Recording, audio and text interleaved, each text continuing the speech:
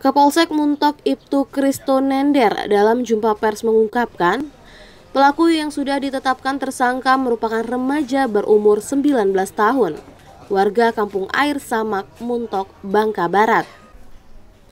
RD alias Randy ditangkap lantaran telah melakukan tindak pidana pencurian di salah satu rumah warga di Kelurahan Tanjung, Bangka Barat. Dalam melakukan aksinya, Tersangka seorang diri ketika malam hari saat pemilik rumah sedang tidak berada di tempat. Dengan cara mencongkel pintu belakang rumah menggunakan peralatan yang sudah dipersiapkan. Tersangka lalu mengambil sejumlah barang rumah tangga yang kemudian dibawa ke kontrakannya menggunakan kendaraan. Tidak cukup satu kali, Tersangka berulang kali hingga dua kali dalam satu malam menguras seisi rumah milik warga.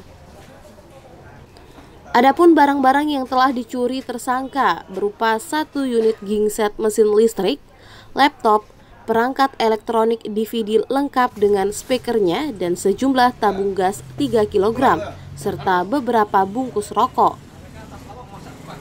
Namun belum sempat terjual, tersangka keburu ditangkap polisi. Semua barang-barang korban sebanyak dua kali, dua kali. Jadi diambil dulu, balik lagi, terus diambil lagi. Dalam waktu yang bersamaan? Dalam waktu yang bersamaan. Malam siang? Malam. Jam? Sekitar pukul 11 23 24 00 itu. Ini satu rumah ya dia? Satu rumah. Dengan cara bagaimana dia? Uh, dia mencokel pintu belakang menggunakan kawat.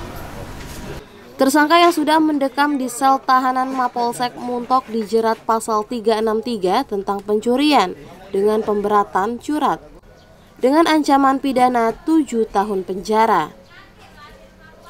Dari Muntok, Bangka Barat, Hamdani mewartakan.